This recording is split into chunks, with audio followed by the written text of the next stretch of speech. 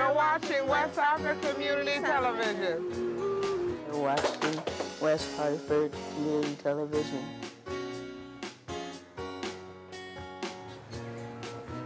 You're watching West Hartford Community Television.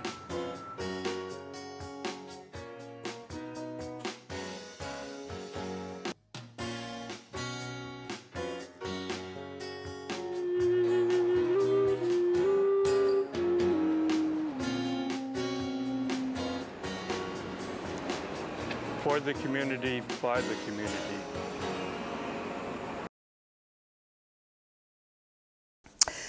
Good morning. My name is Lucy Ochaki. I am with West Hartford Continuing Education, uh, which is part of the school system here in West Hartford. And I am a trip coordinator and a trip escort for the Adult Ed program. I have been working for the program for 20 years, 20 fabulous years. And this year we just ended uh, our last trip uh, to the Radio City Holiday Show and I'm here to talk to you a little bit about the 2017 season. We are working our catalog right now. Uh, by the time you see this uh, film in January, we will already have put our catalog uh, to the printer and it will be on their way to your homes, your schools, uh, your businesses, your offices. So you'll be able to take a look at all of our offerings. Um, I call what I do a tour by design and uh, the show is actually called Tours by Lucy, which is something special to the community television uh, program.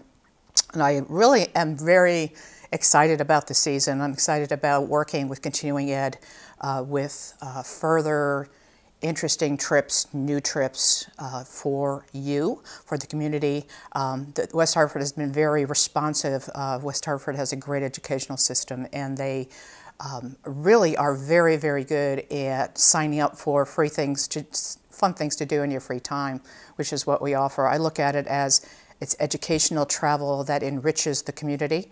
It enriches your life.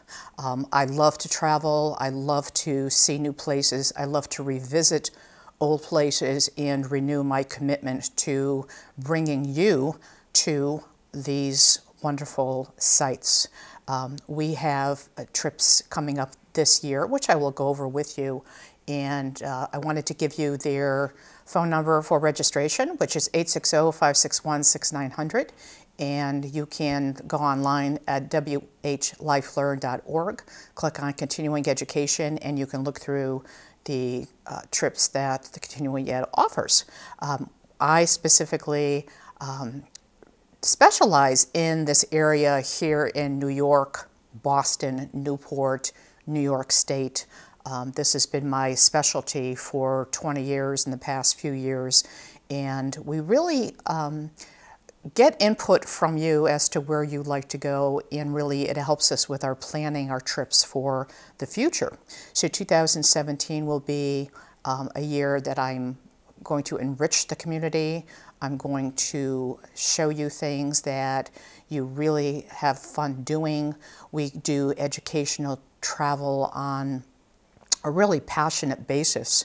And the first trip that I wanted to mention to you today is La Traviata, which is at the Metropolitan Opera in New York City.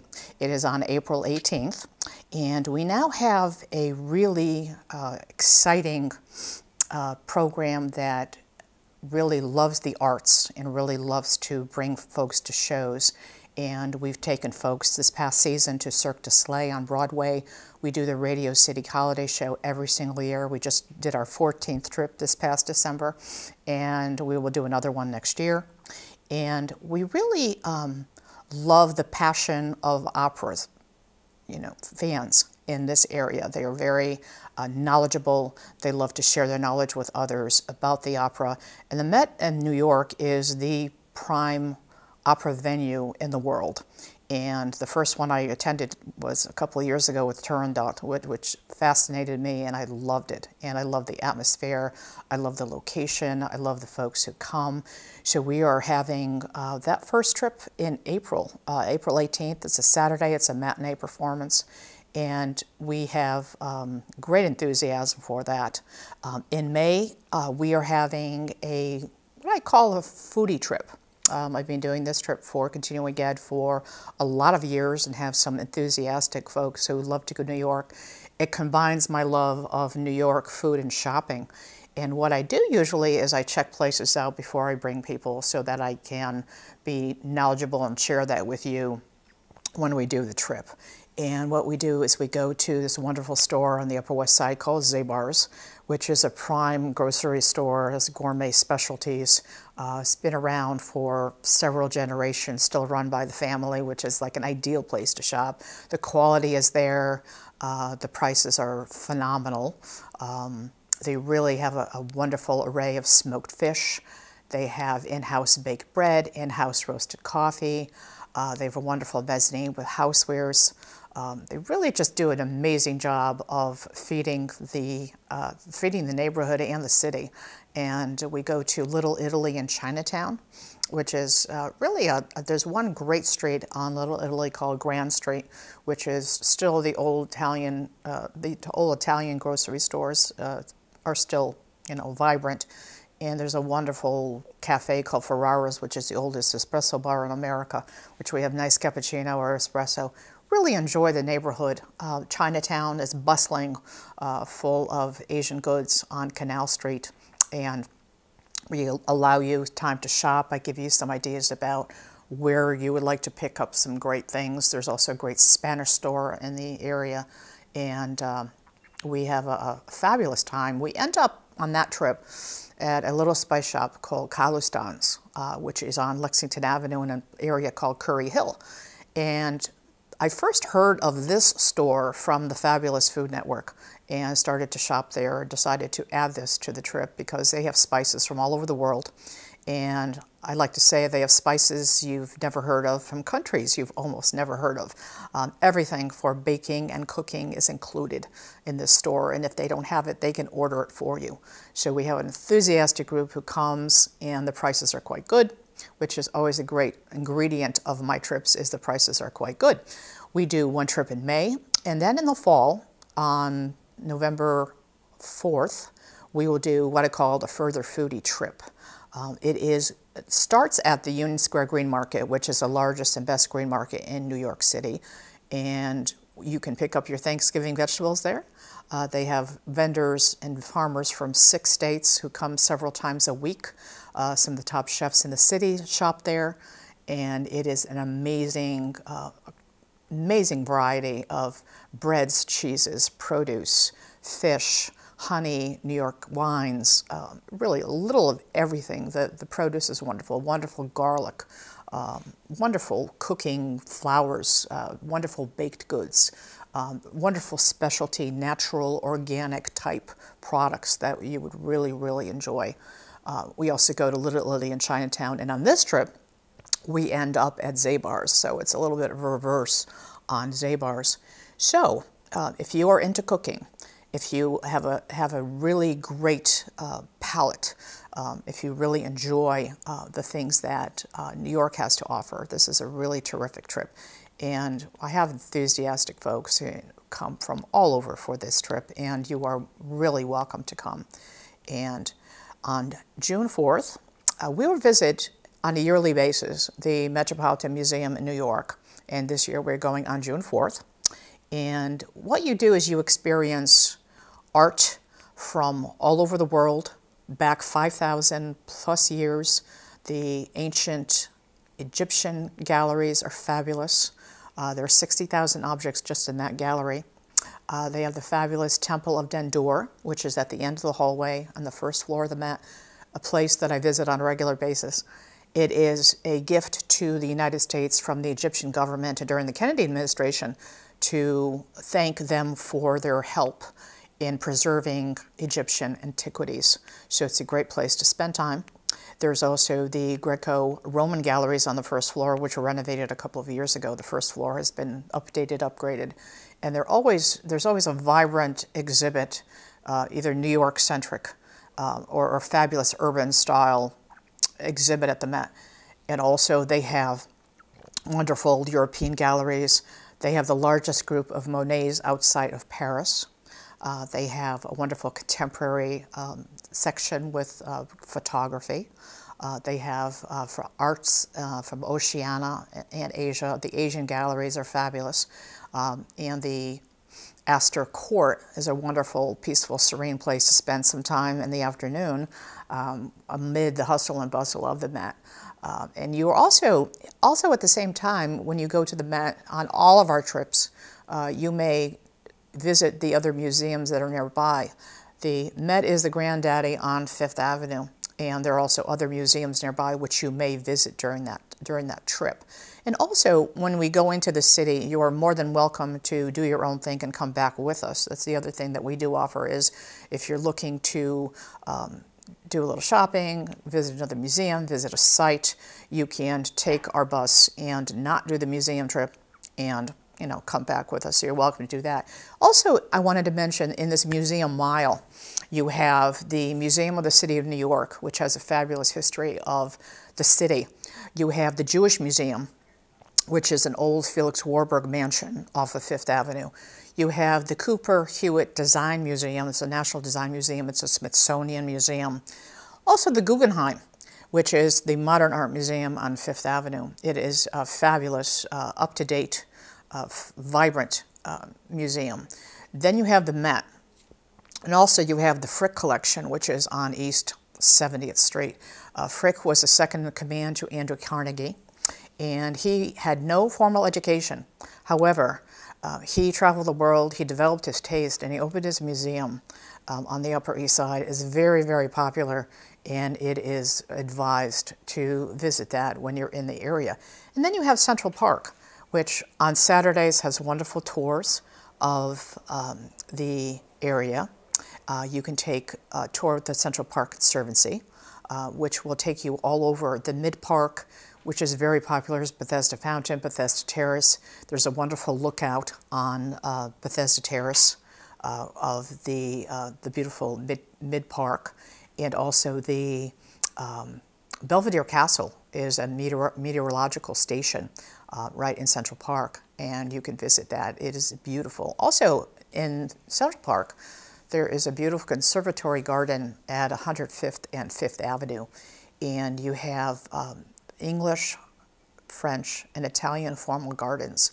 And it's a very peaceful and serene place to spend time um, amid the hustle and bustle in New York City. So there are a lot of things that you can do in that area. Uh, you have also some shopping nearby, some great restaurants nearby. So you can spend part of an art day uh, there at the Met. And also, last year there was an addition uh, added, the Met Breuer um, on Madison Avenue, which is a extension of their modern contemporary wing. So you can visit the Granddaddy on Fifth Avenue and also head over to the Met Breuer on Madison Avenue and visit that. So that will take care of your museum. And it's an extended day, so we give you a lot of time to spend at the Met. There are tours that you can take, which will take you all over the museum. We include an audio guide in the tour and you can take specialized tours throughout the day. They have a full schedule in many languages also, uh, besides English, so you can enjoy uh, that th museum thoroughly. It's a great day in the city. Um, on June 18th, we are visiting Boston for the tall ships, which have not been uh, visit, visited Boston since 2000. So it's a big event, and actually um, we are going to be scheduling a viewing of the Parade of Sail as they come into Boston Harbor, which is beautiful. So we will be doing that on June 18th. It is a Saturday. And the Boston waterfront has been so built up and beautiful over the years. Um, I used to live in Boston um, and, and, really enjoyed uh, that part of the city immensely. The Faneuil Hall area, the North End area, the downtown area is just absolutely terrific. So I think you'll enjoy that if you're interested. You can tour the ships. You can visit uh, the, the folks who man the ships on a regular basis throughout the day. Uh, it'll be just a fun time to bring the tall ships back to Boston. And our newest trip that we just added yesterday, um, by the time this airs, you will have gotten your catalog, so you'll be able to register. We are a baseball program we have booked trips to both Yankee Stadium, Fenway Park, and also Citi Field, uh, throughout the last few years. And this year we have booked the Red Sox and the Yankees, which is a classic rivalry um, in this area. And we have booked uh, great seats for um, August 11th. And you'll be able to enjoy the rivalry again, which will be renewed. Uh, the Red Sox have just signed an ace, Chris Sale, so it should be a really uh, barnstorming year, and the, the season is just uh, exciting to anticipate. Uh, spring training is not that far away, and it is just time to plan uh, for the seats uh, for your trip. So we welcome you. We are enthusiastic baseball uh, program, so you can do that with us. In um, October, we'll be visiting Providence for the um, perhaps sixth time in about six years, which we really enjoy the city. We'll be visiting the Johnson Wales Culinary Museum. We toured it several years ago, and it was an absolutely fabulous trip.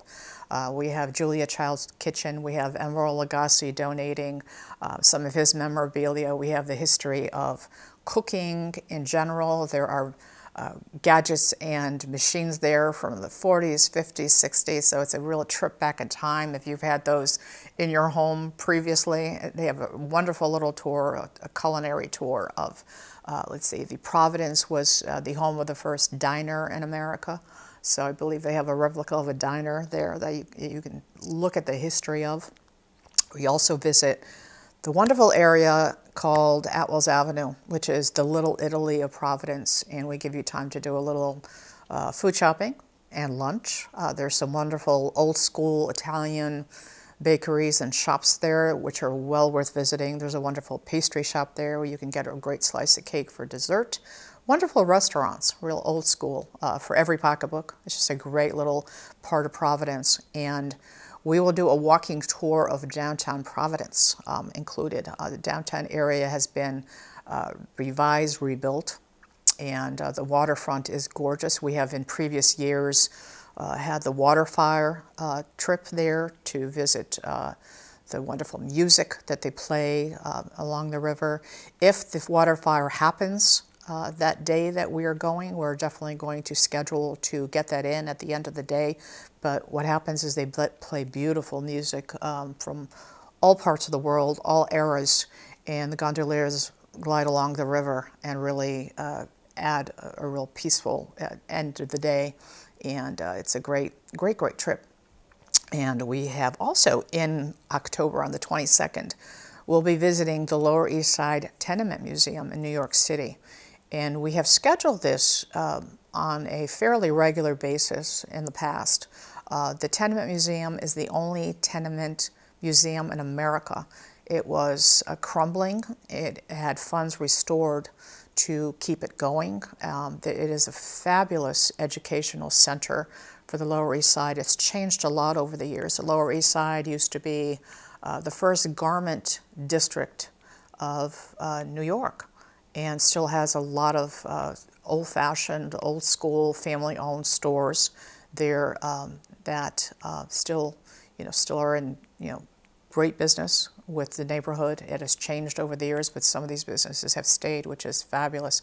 We will visit um, some of the sites on a walking tour of the Lower East Side. Uh, the Lower East Side Tenement Museum will tour the tenement and then we'll take a walk and they will tell us about the history of the era and how it evolved um, and how it, vibrant it is today. And so we will also be uh, near, um, and you'll have time uh, on that day to visit Katz's for their wonderful pastrami. And there are also other great restaurants that have been there, old school, uh, for uh, quite some time. You'll be able to enjoy that also. So um, that is it for walking tours for the year. And um, in November, this is brand new for us. Uh, we have uh, visited Hyde Park in uh, previous years, and this year we'll be visiting on November 10th the Vanderbilt Museum, uh, Vanderbilt Home in Museum in Hyde Park. And Vanderbilt, Frederick Vanderbilt was a Vanderbilt who did not inherit uh, money, but he was very competitive, Um, he is really a self-made man, which is which is amazing. And the glittering mansion that he built in Hyde Park testified to his uh, his wealth and his great business acumen. So we'll be touring the house, and also we'll be visiting at that time the Culinary Institute of America. Uh, that is a premier cooking school in America, and it has an amazing campus right in Hyde Park. And this year we'll be offering the French restaurant, Bocuse, for our lunch. Uh, we have been to the American Bounty previously and the Caterina de Medici. And this is a, a new uh, venue for, uh, for this particular trip. So we'll be making reservations for that. So we can um, really enjoy uh, the year. Uh, we will also be in December on December 5th we have booked the Radio City Music for the 15th year in a row, and we'll be offering wonderful orchestra seats, and those that will be in this catalog coming up, so you can make some really great advanced planning. And also the first Saturday of September, first Saturday of December, uh, we'll be visiting New York City for a day on your own. This is what we do every single year to allow you to do some browsing, shopping, visit uh, Broadway, uh, visit a friend. Um, and we'll be offering that. And also in the spring, we'll be offering a day on your own in Boston. So if you're interested in the museums in Boston, if you're interested in uh, visiting uh, any of the universities across the river in Cambridge, uh, Cambridge has a wonderful uh, set of museums right in Harvard Square that you may visit. So uh, please uh, call the Continuing Ed program to register, 860-561-6900.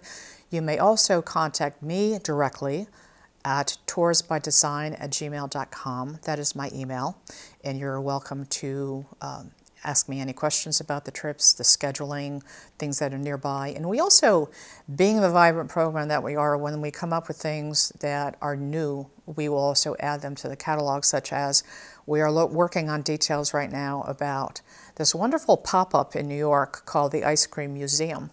Uh, they offered it last year for about a week, and uh, they have a uh, wonderful little history of ice cream, samples. Um, they also have a pool of jimmies that you can swim in, which imagine that. Uh, that sound, sounds like either weird or fun, depending on your disposition. Uh, but uh, we'll be offering that in the summertime. And also look out uh, in this, this particular catalog for um, a trip to Fenway Park. We are presently uh, in contact with them about adding that to our program. So that is something you can look for in the catalog. And again, the Continuing Ed program, you can go online, create an account. You can pay in person, pay with cash, pay by check pay online, pay by credit card. We try very, very hard to make it very easy for you to register and take you on trips.